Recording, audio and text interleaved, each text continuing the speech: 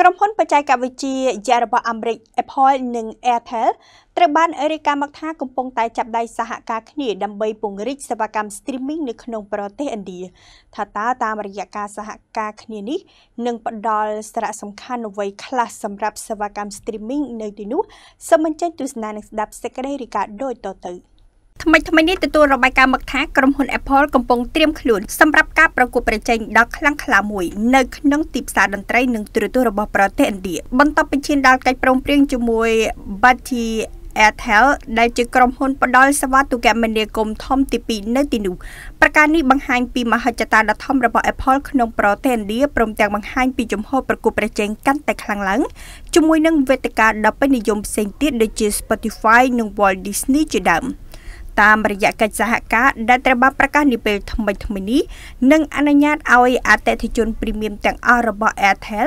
ចូលប្រើប្រាស់សេវាកម្ម Apple Music និង Apple TV Plus ដោយឥតគិតថ្លៃភាពជាដៃគូនេះត្រូវបានគ្រឹមពឹងថានឹងចាប់ផ្ដើមនៅចុងឆ្នាំ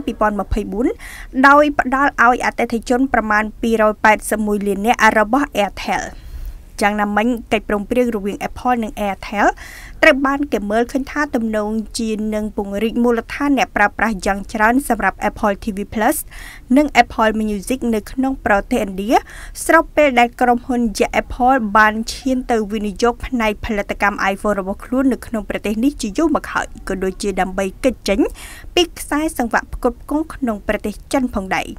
គួរជម្រាបថាបច្ចុប្បន្ននេះ Apple Music មានអ្នកប្រើប្រាស់តិចបំផុតក្នុងប្រទេសឥណ្ឌាដែលមានអ្នកជាវប្រហែល200,000អ្នកប៉ុណ្ណោះដោយឡែកចំពោះសេវាកម្ម Spotify មានអ្នកប្រើប្រាស់នឹងជាវប្រមាណ3លានអ្នកឯណោះយ៉ាងណាមិញជំវិញព័ត៌មានលម្អិតអំពីភាពជាដៃគូនិងផ្នែកហិរញ្ញវត្ថុរវាងក្រុមហ៊ុនទាំងពីរនេះ